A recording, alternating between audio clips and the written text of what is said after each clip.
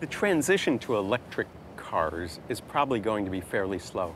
Kind of the negative way of looking at it. The negative way that might be the realistic way is the hybrid cars were introduced in the US in year 2000. Yeah.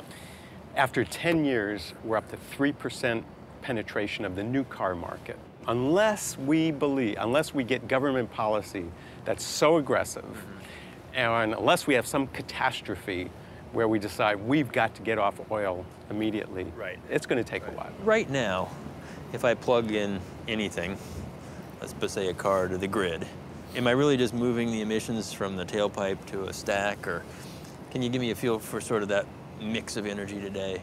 One lesson is that in certain parts of the country, at certain times, electric vehicles are really attractive from an environmental and a carbon perspective. Right. And so the first lesson is we want to put the cars where that carbon footprint and those environmental impacts are least. Right. And California happens to be one of those places Yeah. because we use almost no coal for electricity in California. Right. But the second part of it is that we really need to wean ourselves off of coal. So the way to think about it for electric vehicles is we'll bring the electric vehicles in at the same time that we're decarbonizing hmm. the coal system, the electricity system.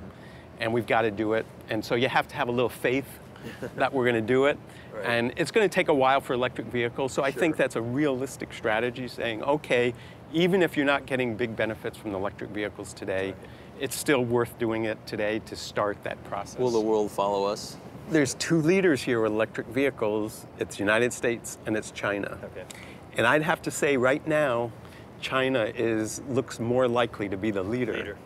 China has made the national government has made a commitment, a serious commitment to electric vehicles. Right. They're starting to subsidize it. They're starting to tell the car companies, if you want to do business in this country, you've got to start selling electric cars.